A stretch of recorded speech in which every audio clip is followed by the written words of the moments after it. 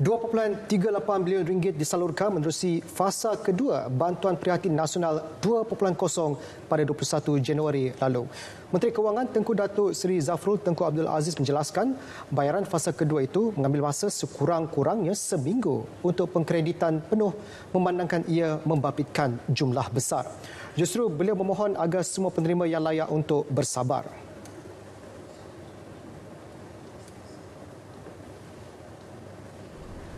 Saya juga ingin berkongsi bahawa dari 21 hingga 24 Januari sebanyak 6.4 juta akaun telah dikreditkan dan daripada 25 hingga 29 Januari 3.8 juta akaun sedang atau akan dikreditkan. Beliau mengumumkannya menerusi laporan laksana ke-38. 750 ribu penerima dalam kalangan B40 dan M40 yang tidak memiliki akaun bank telah mula membuat tuntutan. Kerajaan berharap bantuan yang dipercepatkan ini dapat membantu aliran tunai 11.06 juta penerima bujang dan isi rumah.